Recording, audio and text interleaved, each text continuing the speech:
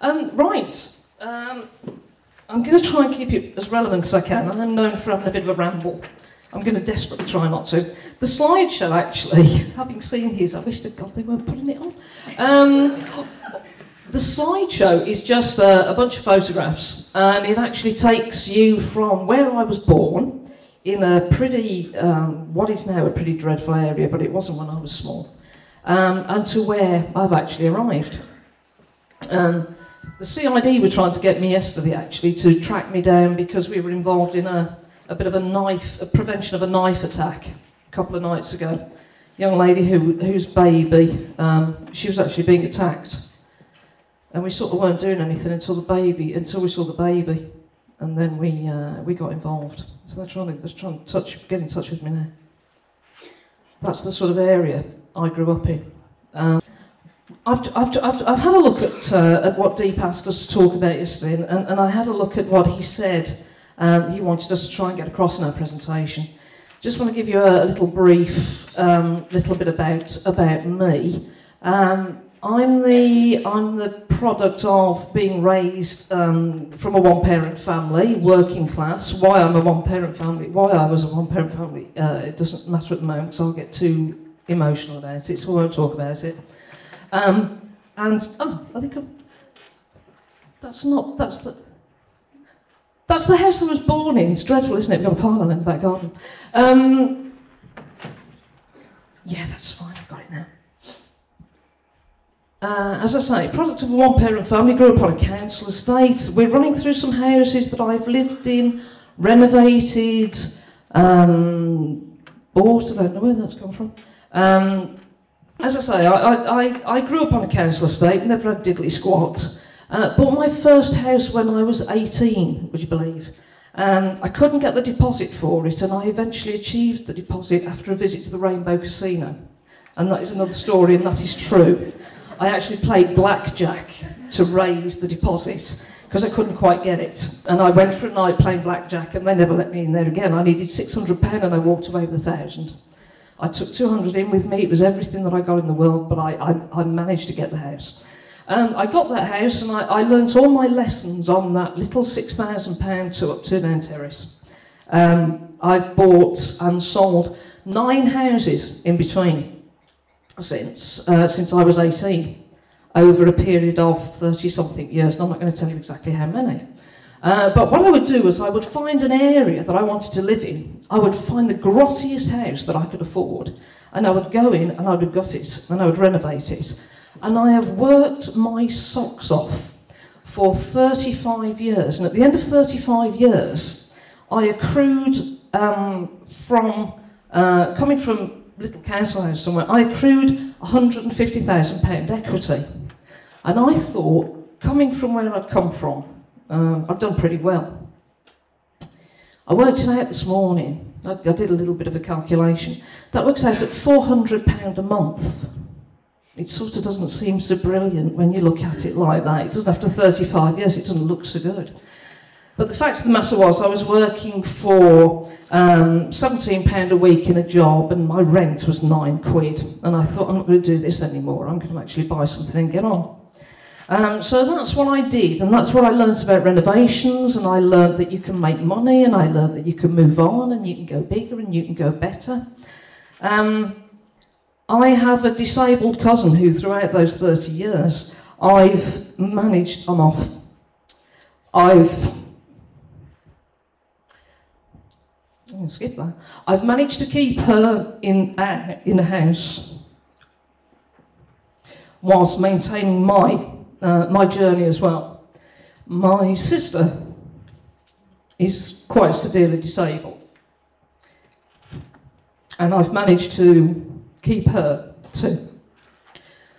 Personally, I joined the TMA last year because my own medical problems meant that I wasn't uh, going to be able to stay and work anymore. I'll get this together in a sec. Um, but I still needed not to risk the future for those people that I looked after.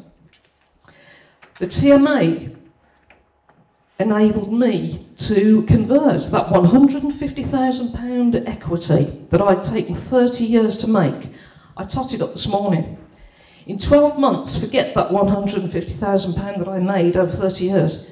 In 12 months, I've made £329,000 worth of equity.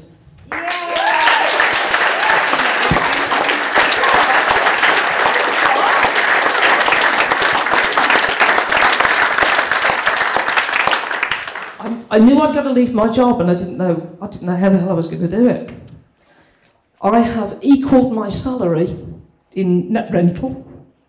Um, so I've walked away. I've retired from my job. I've had enough.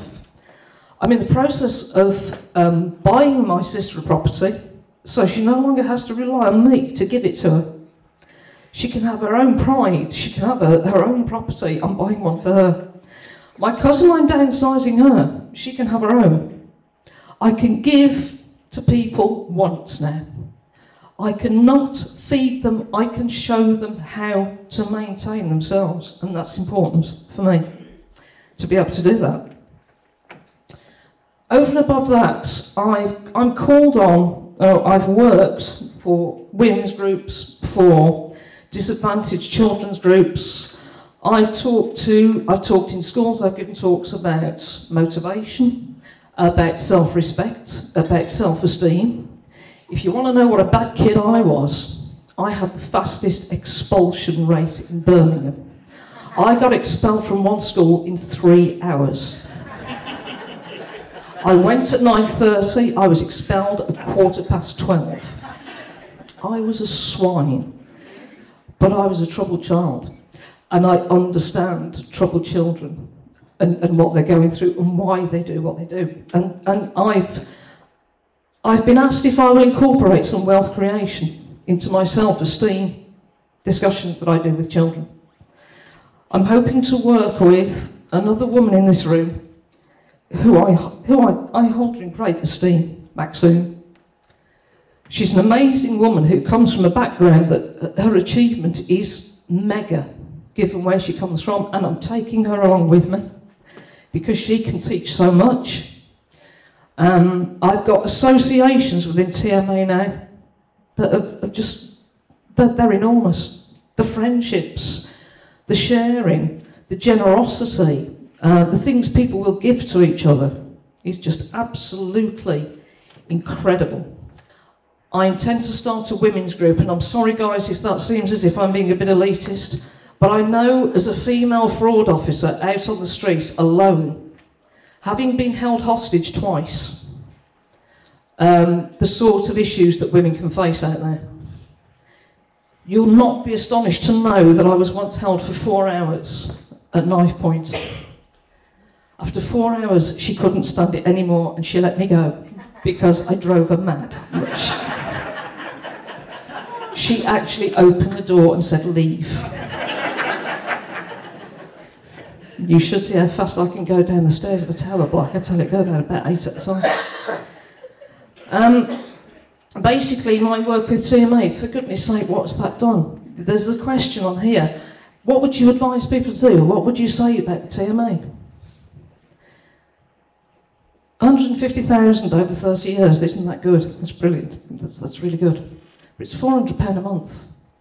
My acquisition in equity since I joined the TMA works so this morning, it's nearly £3,000 a month that I've earned. I've walked away from a job that I've been trying to leave for the last five years and I didn't know how to go. And this TMA group opened the door for me and it said, there's your dream, go get it. I suggest if anybody's got a dream and you really want to follow it, this is something you should seriously think about. And you know, I wouldn't have cried if he hadn't started me off. but once I start crying, I'm Irish and I can't stop. I just want to thank the team. I want to thank Hanif. I want to thank people who are prepared to work alongside me. I value the friendship enormously. What am I going to do for the future? I'm going to build. I'm going to grow and I'm going to leave.